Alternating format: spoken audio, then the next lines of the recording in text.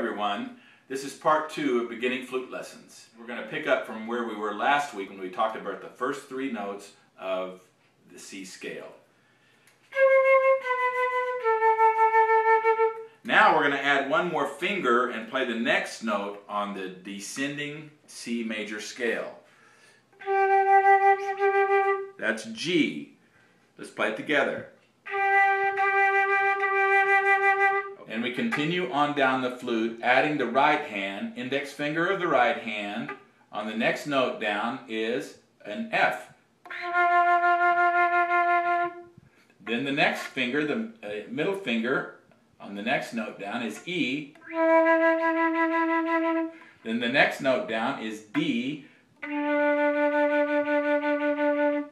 the final note of the descending C scale is C, and that's in the foot joint, on the foot joint with the pinky.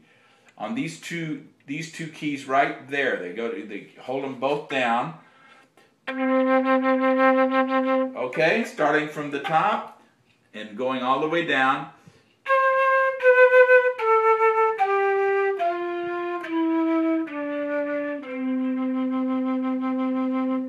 That's the entire descending C major scale. Okay, now I'm going to show you a song that you can learn based on this scale. Okay, and it's one that's very familiar to everyone. It's a Christmas carol called Joy to the World.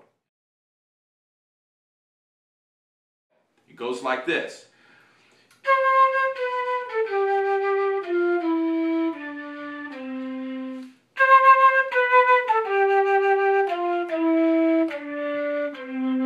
That's the first half of that. That's all we're going to learn today.